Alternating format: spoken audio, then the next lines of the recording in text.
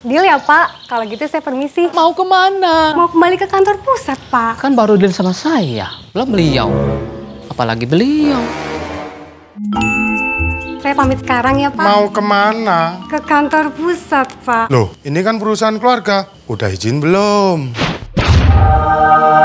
Harus ubah atau batalkan tiket?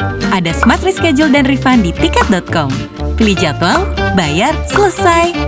Mau ke mana?